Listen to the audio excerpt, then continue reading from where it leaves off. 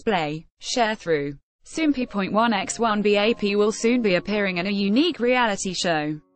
See also, BAP gets emotional talking about contracts and it possibly being the last concert together on July 24. A source from the channel Fashion stated that BAP is preparing a special project as a way to give back to their fans. The process of creating the project will be revealed in a show entitled BAP's Trains. Soompi. Display, News. English .300x250, BTF Soompi. Mobile. English .300x250, ATF, trains, is a combination of the words, training, and dance. The project that BAP is working on is making a VR, virtual reality, game with their songs and choreography, and BAP's Trains, will show the BAP members' whole process all the way from the game's development to release.